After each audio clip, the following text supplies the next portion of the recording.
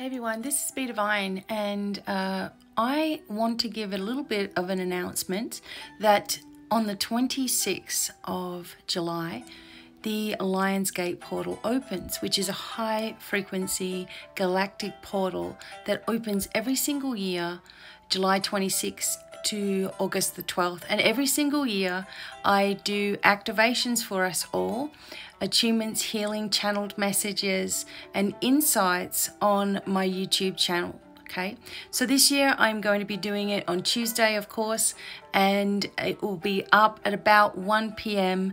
Mountain Time. Okay, full of information, meditations, and things for you to follow along with, as well as get some insight about the worldwide events, etc.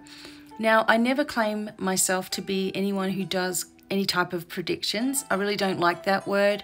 And the reason why is because it gives a limitation to a person's life right? Their life um, can become limited by information that comes forward because they start looking for those things that they've been told.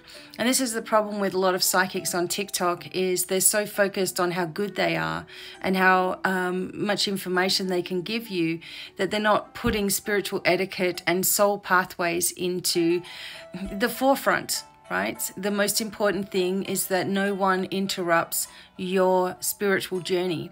Okay, you can give guidance and information, but we shouldn't be giving exactness of things. It's always up to the individual what they choose to do. So on the 26th, we also start to activate some other conjunctions uh, with different planets, etc we are going to be in for some amazing energy coming in. The Schumann resonance, uh, the energy of the earth has been off the charts lately. So you may have been feeling some pressure in your faces, some headaches, some dizziness, some lethargy, etc. as these things come in. But just know that our spiritual light team and the universe is working to help us, okay? Working to expose a lot of corruption working to open up new portals, new timelines all the time. And we're manifesting into those with our thoughts. This is another reason why your thoughts need to remain really, really positive as we're going forward.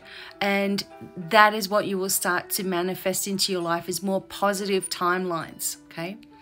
Trust in your abilities and know that each one of you are gifted. This is not something that God gave me.